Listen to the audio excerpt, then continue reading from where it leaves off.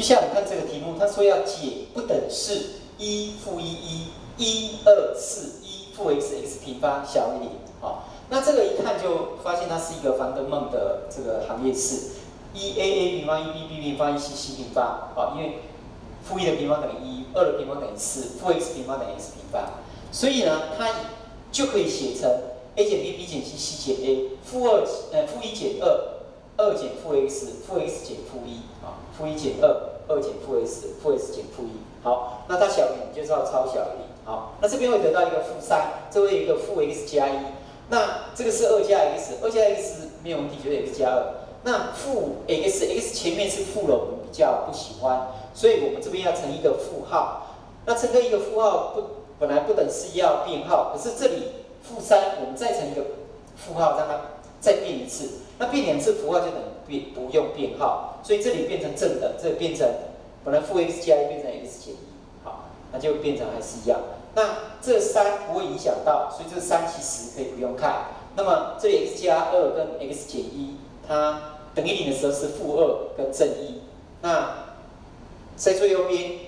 好，比这两个解还要大的话，那这个可以看作 x 减负二啦，或者 x 减一。减掉这两个都比它大，那出来是正的啊。就是你如果点在这边，比这两个点，比负二跟一都大，所以减掉它们两个都是正的，是正正相乘会得到正。那如果是在这里，哦，是在这这一段里面，那它会比一还要小，所以减掉一是负的，那减掉负二，那因为比负二还要大，在它的右边就是正的，正乘以负，所以乘出来它是负的。那在这边的话，会两个都是负的，因为在两个的左边，所以减掉它们都是负的，负负会得正，所以你的符号出来应该是正负正。那你要小于零当然是负的，所以在取中间这一段就是负二小于 x 小于一。好，那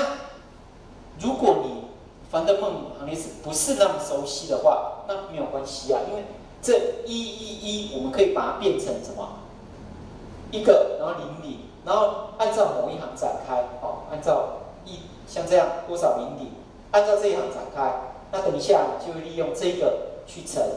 好，这个行列式这样就可以。好，所以如果你要把它变成这样子的话呢，你就是这个乘上负一加过来，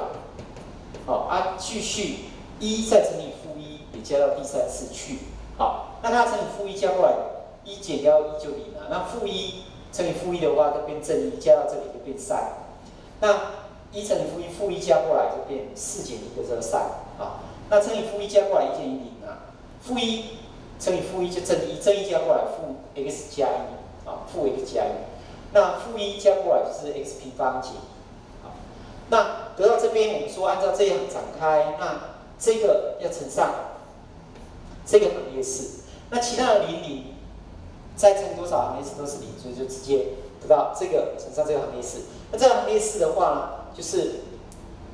这样子啊，这样子在做，你这个三还可以提出去变一，好，可以再提出一个三，好，那就会变成三去乘上这个行列式，这行列式呢就是这个减掉它，就是 x 平方减一，再去减掉一减 x，